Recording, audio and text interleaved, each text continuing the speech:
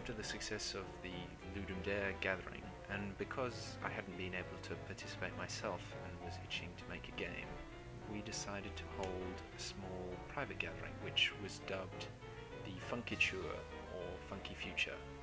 Funkiture is essentially a spoonerism of jam in French, which is confiture. We would have liked to have done a larger gathering with more people, though as always, uh, the problem is finding somewhere to hold the event. It's quite difficult to organise, especially at the last minute, a large room where a large number of people can stay for 48 hours without leaving and sleep.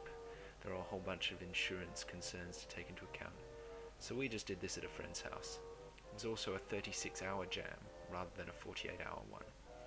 Each person working by themselves, and the theme was multiplayer games since this is the first ever Funkiture that we've done, we're not yet sure whether all the Funkitures will be about multiplayer games, or whether each one will propose a design or development constraint, or whether it will just be a random theme. That's all to be decided, and you know we very much welcome your comments. We'd like to open it up to more people. Uh, I found it quite a, a different experience, especially because at the end of the jam, which was around 11 o'clock, we were able to play each other's games, and uh, seeing other people play your game, or playing your game with other people, is really telling. My game was essentially an HTML5 browser game. Each player's window is their world where they have a bunch of little creatures running around eating grass.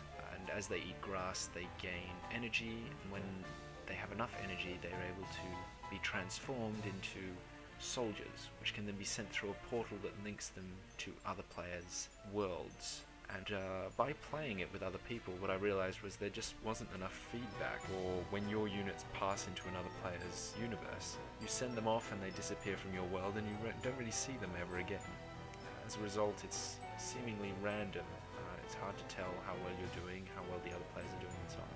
So one of the solutions I thought up for this was to have a sort of uh, pie chart representation of portals.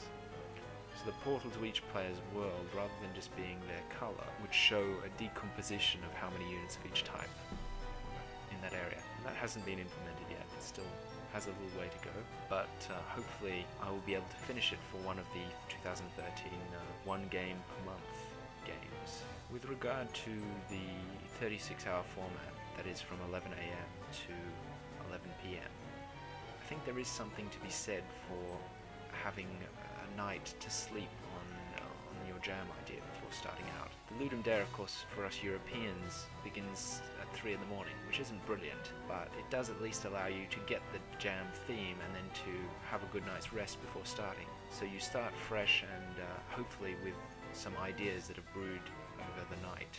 In this jam though we started off immediately in the morning, nobody quite woken up so I'm not sure if that's the best format imaginable. Anyway that's all for now. I have one more screen capture video to show you which is of the Global Game Jam. So see everyone very soon for that.